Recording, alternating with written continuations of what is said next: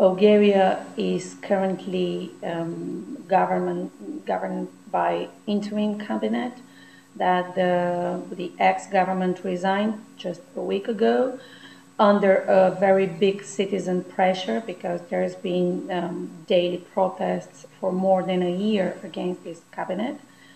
The protests started against the assignment of Delian Peevski as a chief of the national security. I say that because the name Delian Peevski is a key name in the media situation as well, in the media sector here. Basically, he is a person who concentrates uh, a massive political, media, and business power in his hands. So um, he's, he's basically a member of, of, of uh, the Turkish Minority Party, which was one of the governing party. He is also uh, an owner of uh, a good number of medias here in Bulgaria. He also has some um, experience as investigator, and he controls business for millions, billions even. So in the Bulgarian society, he's seen as, as almost as an octopus. He's seen as a demon, as someone who has influence in, in the judicial system, in the parliament, in media, in business, and basically he can do whatever he wants.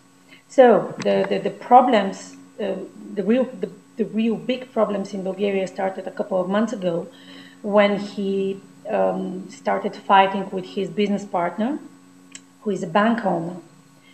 And this led to a bank crisis because of a big political and media pressure over this bank.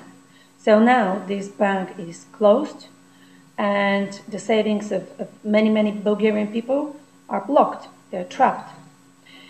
So this, make, uh, this makes Bulgarian people wary about the results of such a concentration, media uh, uh, and business uh, power, power can lead to.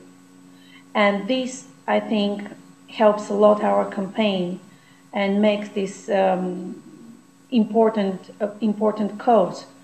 So, the, this, is, this, is, this is the situation in Bulgaria and uh, the message to all the other countries um, I could I could have is um, if you don't want your country to be the next one resembling Bulgaria, do sign this petition.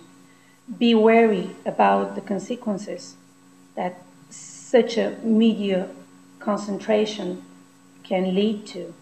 Because, okay, today it's my savings being trapped in a bank because of a media and politic, politic, uh, political uh, attack, but tomorrow it could be yours.